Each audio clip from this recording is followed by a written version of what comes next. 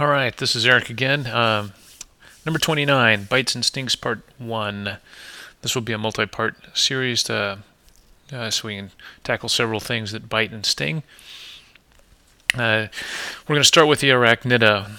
Uh, this is spiders, scorpions, and ticks. I really hate scorpions, but I may hate ticks a little bit more. So there are 30,000 species of venomous spiders, uh, meaning the spiders that produce venom. There's uh, 14,000 species of scorpions that produce venom, but a overwhelming majority of these, almost all of them, are not harmful to humans. Uh, we're just going to tackle the couple that can cause problems. Ticks, on the other hand, may actually be the most trouble for us uh, just because they pass disease, uh, like Lyme disease and Rocky Mountain spotted fever uh, these little boogers, and some of them they can be really small and hard to see. In many cases, the Lyme disease, uh, people don't even remember being bitten by a tick. All right, first up, the Loxosceles reclusa. This is the very frequently blamed but very infrequently guilty spider, also known as the brown recluse. Uh, this kind of gives you a general size uh, estimate of this. These, by their name, recluse, uh, don't seek out uh, busy areas. Uh, they like to hide in wood piles and um, and just kind of out of the way spots. Here's another example: nice long, thin legs, and you can see the classic uh, fiddle-shaped uh, marking on the back of the thorax. Uh, here's a close-up. Uh, these are also known as fiddleback spiders. Now here's the distribution of Loxosceles reclusa. So if you were up in Idaho and you think you got bitten by brown recluse, you're probably not. Um, it's kind of in this sort of central and south central region. Uh, when you get bitten, uh, there's typically some burning at the site, and uh, as the days go by, you get kind of redness and a blister followed by necrosis, which is a fancy term for dying tissue or dead tissue, uh, necrotic tissue. Um, with the inflammatory response, sometimes you can get things like fevers and chills. You can feel like you want to puke. You get kind of this weakness and uh, something called malaise, which again is just a general feeling of badness. If the toxicity is really bad, uh, you can have some disruption of the red blood cells where they break apart. Um, that can also chew up your platelets, uh, which make it may may make things more likely that you can bleed. Uh, and in rare cases, you get things like shock renal failure, uh, edema in the lungs or, or, kind of fluid in the lungs, uh, and hemorrhage kind of due to the uh, platelet destruction. That's really, really uncommon though. Here's an example of uh, a brown recluse during the progression of a bite. This is day one. Um, you can see where somebody took a sharpie and marked a circle around uh, the area of the bite. So it's kind of right in the center. Here's day three, uh, and you'll notice the wound is really sharp margins, and that's because uh, some surgeon came in and cut out the dead and dying tissue, t- and so that's a surgical cut and not due to the uh, actual spider bite. Here's day nine.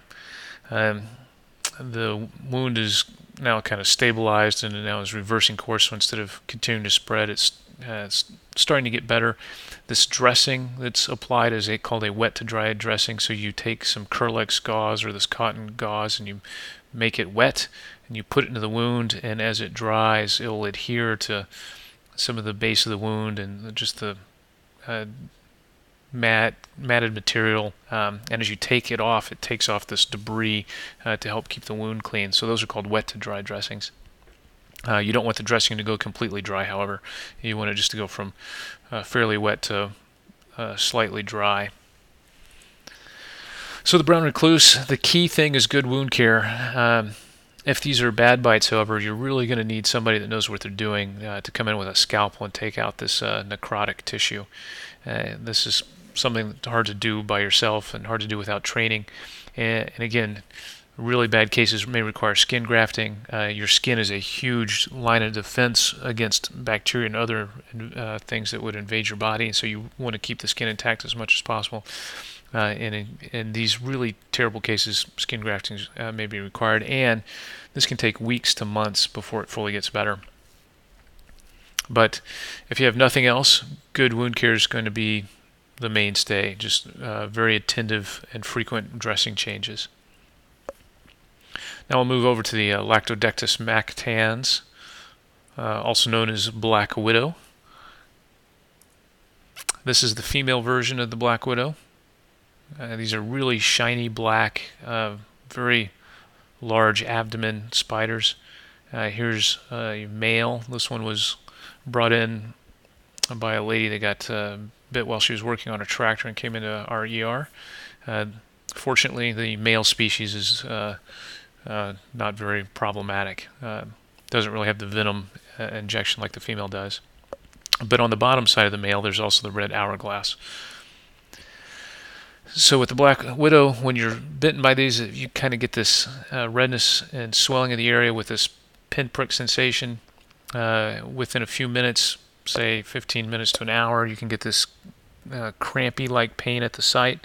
Uh, and then this pain just sort of spreads over the entire body. Um, there have been a few cases that uh, people have this very intense abdominal pain, uh, and, and, there's been reports of people going and having their appendix taken out with physicians thinking they had appendicitis when it was actually just a black widow bite. Uh, patients that have this kind of whole body reaction can also feel very restless and anxious. Uh, the vomiting may be present, um, trouble breathing, and trouble speaking, uh, along with a very intense sense of anxiety. Now, there is an anti venom uh, for the black widow, and this um, severe bites may require that, but it's hard to get. It's not something that's typically stocked.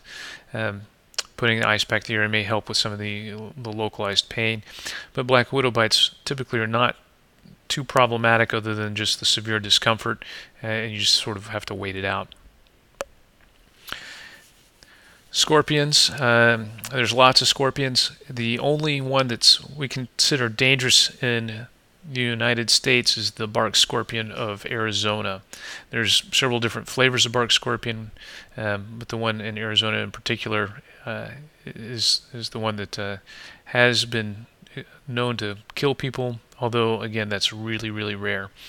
Here's an example of a uh, Arizona bark scorpion with a couple little babies. And of note, uh, when I lived in Arizona, we would do this for fun. You'd take a black light and you'd go find these suckers, and they would fluoresce and glow. And then you take a little blowtorch and fry them, or skewer them, or kill them. Uh, but it's kind of freaky when you get out with a black light and you just see how many of these things there are.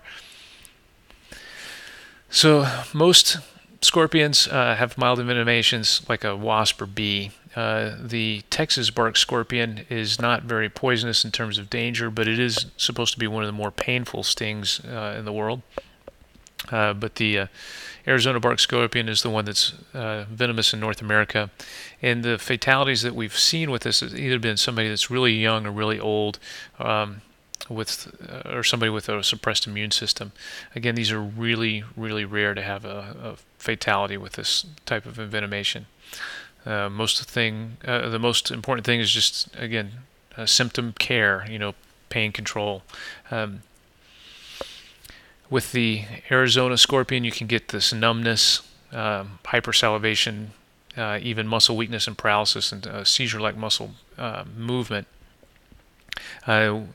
Treating this with a benzodiazepine like Valium or Ativan can be helpful. Uh, there is an antivenom. Again, this is only for the Arizona bark scorpion that I'm talking about right now. Um, there is an antivenom made in Mexico called Anascorp. Uh, but if you're not in Phoenix or Tucson or in that general region, um, you're not going to have access to this. Uh, but again, if you're not in Arizona, you're not going to be stung by one of these bark scorpions. And again, the the most important thing with any type of scorpion bite, if it's very severe, is is uh, pain control with uh, a narcotic pain medicine uh, or some muscle relaxers like the benzodiazepines. Again, that's like Valium or Ativan or Xanax. All right, that's it for uh, uh, scorpions and the two spiders that are, uh, have significant venom in the United States. We will tackle ticks on the next one. Thanks.